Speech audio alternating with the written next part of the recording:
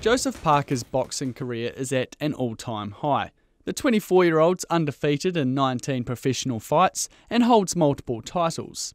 And with a mandatory challenge against Anthony Joshua penciled in for later this year, he could even become a world heavyweight champion.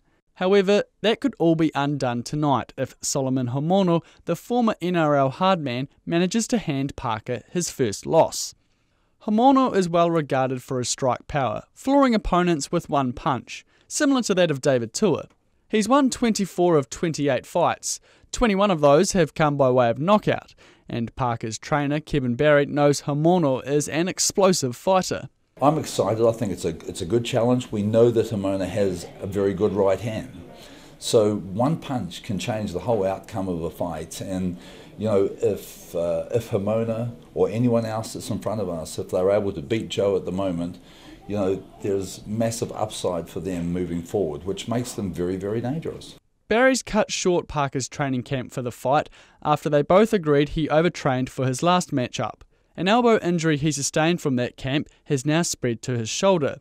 Parker says it needs to be monitored closely if he wants to have a long career in the sport. He also knows a loss tonight to Haumono could jeopardise that career. For him, I think this is a make or break. He wants what I have, the, the mandatory position to fight for the IBF World title. With every fight, it's a challenge. And even though it's not the same challenge as the previous fight, it's different challenges that everyone brings. That's why it's, it's interesting that there's a lot of different styles, because styles make fights. For Haumono, he really has nothing to lose. If he wins, he'll get Parker's mandatory challenge against Joshua, and that's what the 40 year old has come to claim.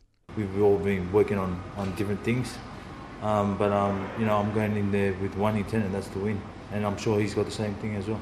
With a lot on the line, a slip up now could cost Parker more than a few bruises.